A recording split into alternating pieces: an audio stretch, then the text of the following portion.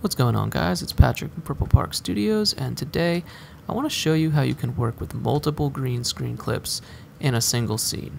And this is something that I have been wanting to do for a while, a lot of people have been asking me about it, uh, but to be honest with you I didn't quite have a good way of doing it. Things were always a little disorganized, so it took me a little bit of trial and error, but I think I figured out a pretty good system for this. So let's get into it. Uh, first of all, I just want to say that uh, I got this um, building model here and this other little wood platform model from Chuck CG. I think I got it on Gumroad. Uh, you can get these assets for free as a part of a bigger pack, but yeah. Anyway, just want to shout that out. And then the rest of this is just a super simple environment that I made, and then I just appended in a little low poly uh, spaceship that I had modeled a little bit ago. So as you can see in this clip here, the first shot is my boot and then there's another shot that is from the back and the camera is moving up forward like so. The last shot here uh, took a little bit of work to get right. I had to do a lot of playing with camera angles and stuff but then you also have this shot from the side where he's knocking on the door.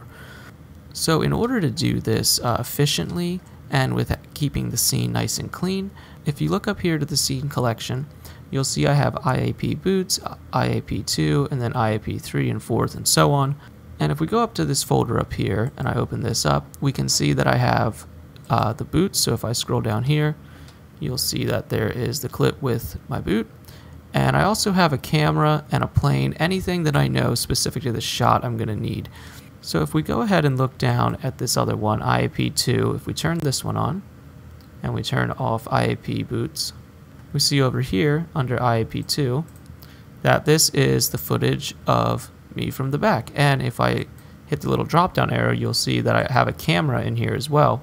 So if I select this camera and click camera, we can see the shot composed from this camera's view. So basically what I'm doing, and if we look at IAP3 here, is I'm just I'm just putting my images as planes in a particular folder that I can turn on and off with the camera specific to the shot. So if I turn off IAP2, and I select, you got to select the bottom camera down here or it will keep it on the other camera. This was a scene that didn't make it in, but now you can see I have a whole different shot composed through this camera. And this is just nice because if I need to make an adjustment, I can always turn this off, say I need to go back to IAP2 and hit the drop down arrow, hit the camera, and now I can start working on this clip. So it's just an easy way of kind of keeping things neat and clean. Now, if you are in a situation where you have like a simulation or something going on that's based for a certain clip, you might want to include that simulation or anything specific to the shot in your folder containing the footage for that shot. And I also real quick want to talk about this fourth shot here. So if I go to IAP4, hit the drop down arrow, select the camera 3, and you can also, if you really wanted to, you could name these cameras. I just left them as it is, it's only four shots. And then I look through this camera view, you'll see that I got this shot here. And this shot took a lot of uh, playing with to get right because originally I had the camera up closer. It just, things didn't look right. Um, I wasn't happy with it. I also rendered this one a few times, but I finally got this shot here. And the thing I like about this shot is that there's almost like multiple layers, so it really helps sell the 3D effect. Here you can see I've got uh, the rocks in the in the very foreground, and then there's this part of this tent, the ropes coming down. Then my actor's there, you know, interacting with this doorway here.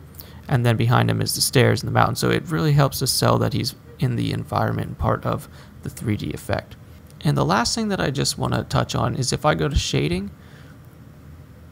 and we'll go to rendered mode here, and I change this over from object to world, I just wanted to point out that you can see here I have uh, two HDRI setups and this was the original one I had. I just copied it and then there's some slight changes going on with this but I wanted to have the option so that if I wanted to revert back to the same HDRI just maybe with different lightings or settings I could do so um, and I didn't want to have to switch the HDRI so just having a couple options loaded in that you can always go back to and play with can also be really helpful in getting a good render.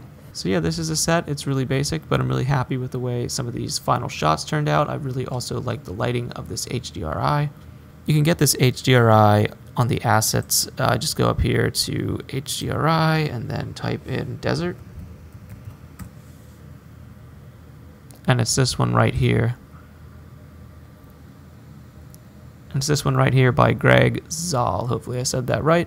So it's a really cool HDRI. I love the way it looks. It's really good for lighting your scenes. So just want to point that out.